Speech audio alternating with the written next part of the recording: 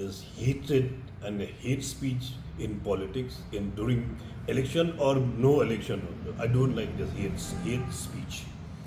Yes, I've really witnessed so many Lok Sabha elections in my political career.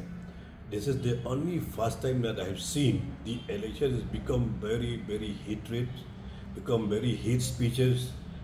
Uh, one another political party, one another uh, candidate, which is uh, which I don't like in happen in politics.